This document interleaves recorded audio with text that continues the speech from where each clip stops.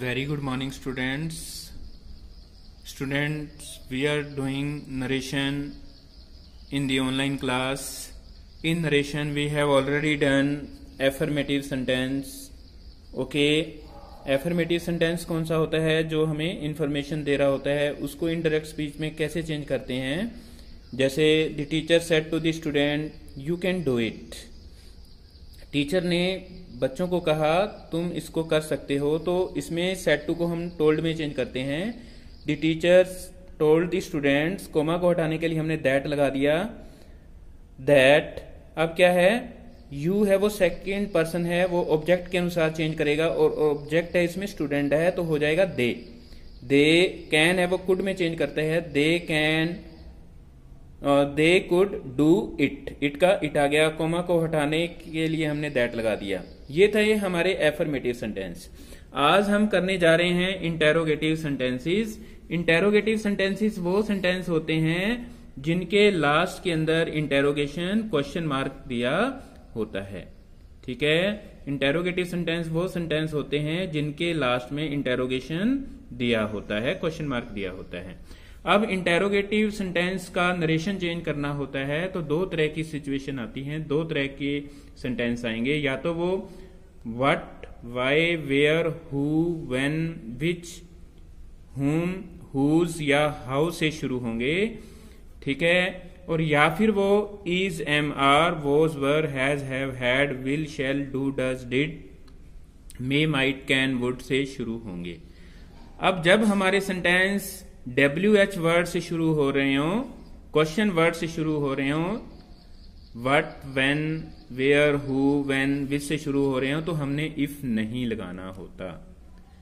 ठीक है? और जब हमारे क्वेश्चन है, वो इज़ एम आर से शुरू हो रहा हो, जैसे यहाँ पर डिड से शुरू हो रहा है, ठीक है? डिड से शुरू हो रहा है, या फिर जो हमारा क्वेश्चन है, वो वर से शुरू हो रहा है ठीक है, वर से शुरू हो रहा है तो फिर हमने इफ़ का प्रयोग करना होता है। तो इसे दोबारा सुन लो। जब हमारा question what when where who when which whom या हाउ से शुरू हो तो हम इफ़ लगाएँगे। और जब हमारा क्वेश्चन है तो हम इफ़ नहीं लगाएँगे सॉरी और जब हमारा question is am are was were has have had will shall do does did से शुरू हो या मे माइट से शुरू हो तो हमने इफ़ का प्रयोग करना है। अब देखो इसके examples teacher said to me what are you doing teacher ने मुझे कहा, तुम क्या कर रहे हो? तो वट से शुरू हो गया तो इफ़ का प्रयोग हम नहीं करेंगे, ठीक है? इफ़ का प्रयोग है वो नहीं करेंगे। द टीचर अब सेट टू को हम पहले टोल्ड में चेंज कर रहे हैं, अब हम आस्ट में चेंज करेंगे क्योंकि पूछ रहा है। यहाँ से पता लग गया हमें आस्ट लिखना है सेकंड फॉर्म लिखनी है। The teacher asked me comma को हटाने के लिए अब इफ़ यहाँ पर नहीं आएगा तो वट का वट लगा दो। अब बस हमने ध्यान ये रखना है कि पहले वोजवर को इज़ एम आर को वोजवर में चेंज करते हैं। सीधा ही वोजवर नहीं लगा देना, पहले हमने सब्जेक्ट को चेंज करना है। सब्जेक्ट इसमें यू है तो यू मी के अनुसार हो जाएगा। I what I is am are को वॉजवर में चेंज करना है वट आई वॉज़ डूइंग यानी कि यहाँ प्रेजेंट कंटिन्यूस टेंस है, इसको पास कंटिन्यूस में हमने चेंज कर दिया और इंटेरोगेशन को हटा करके फुल स्टॉप कर देना है। कोमा को हटाने के लिए हमने इफ़ का प्रयोग है वो नहीं किया है। ऐसे ही doctor said to the patient were you feeling uneasy doctor ने पेशेंट को कहा कि क्या वो अनइजी फील कर रहा है? तो क्या हो जाएगा? डॉक्टर सेट टू को हमने चेंज कर दिया आस्ट के अंदर। ठीक है? आस्ट द पेशेंट अब कोमा को हटाने के लिए अब हम यहाँ पर इफ़ का प्रयोग करेंगे क्योंकि ये हेल्पिंग वर्ब से शुरू हो रहा है। इफ़ ठीक है? अब यहाँ पर यू सेकंड पर्सन है। पहले हमने वॉज़ वर्क को चेंज नहीं कर देना हेड बिन में। हम पहले यू को चेंज करेंगे। पहले इंटेरोगेटिव सेंटेंसेस के अंदर पहले सब्जेक्ट को लगाते होते हैं। अब सेकंड पर्सन यू है, वो सेकंड पर्सन है। ऑब्जेक्ट के अनुसार पेशेंट है। पेशेंट की जगह हो गया he what he was work को हमने हेडबिन में चेंज करना होता है।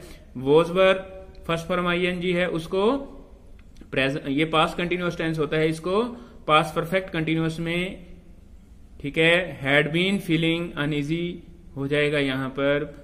ठीक है? कोमा को हटाने के लिए हमने, ठीक है, वो इफ़ लगा दिया है और लास्ट में इंटेरोगेशन की जगह फुल स्टॉप आएगा इंटेरोगेशन नहीं आएगा। अगर आपने इंटेरोगेशन लगा दिया तो वो रॉन्ग हो जाएगा। ऐसे ही the beggar said to me beggar ने मुझे कहा why are you why are the people so miser today कि लोग हैं वो इतने कंजूस क्यों हो गए हैं? दी बैगर सेट टू को आस्ट में चेंज कर दिया। आस्ट मी अब वाई का वाई आ जाएगा इफ़ नहीं आएगा, देखो। ठीक है? यहाँ पर इफ़ नहीं आएगा इफ़ को हमने नहीं लगाना। इफ़ नहीं लगाना हमने, वाई का वाई अब सब्जेक्ट को पहले हमने लगाना है दी पीपल ठीक है? इसे मार को वॉज़ वर में सीधा चेंज नहीं कर देना। पहले आएगा दी पीपल इज़ एम को वॉज़ वर में चेंज किया, वर सो माइजर, टुडे। बैगर ने मुझसे पूछा कि लोग इतने कंजूस क्यों हो गए हैं? आगे, Rani said to me where are you living Rani ने मुझसे पूछा कि मैं कहाँ रह रहा हूँ।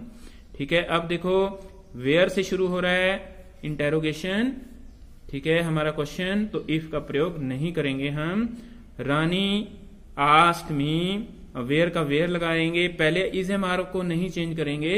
पहले यू सेकंड पर्सन है, उसको चेंज करेंगे। ऑब्जेक्ट के अनुसार चेंज होगा तो यू की जगह हो जाएगा I where is am are को वॉजवर में चेंज करना होता है।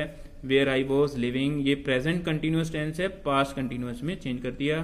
कोमा को हटा करके हमने फुल स्टॉप लगा दिया। इंटेरोगेशन की जगह फुल स्टॉप लगा दिया। आगे she said to me did you compose poem उसने मुझसे पूछा कि, क्या तुम पोयम लिखते हो? तो क्या है? अब ये देखो डिड आ रहा है। ठीक है? तो डिड आ रहा है तो हमने यहाँ पर इफ़ का प्रयोग करना है। शी सेट टू को हमने आस्ट में चेंज कर दिया। मी का मी आ गया। अब इफ़ लगा दो या वेदर लगा दो, एक ही बात होती है। इफ़ यू सेकंड पर्सन है अकॉर्डिंग टू ऑब्जेक्ट आई हो जाएगा। I did plus first form है। इसको हमने क्या है कि हेड प्लस थर्ड फॉर्म में चेंज करना होता है, यानी कि ये पास इंडेफिनेट टेंस है पास इंडेफिनेट टेंस को पास परफेक्ट टेंस में चेंज करना होता है, यानी कि हेड प्लस थर्ड फॉर्म में चेंज करना होता है। Did plus first form had plus third form में चेंज होती है।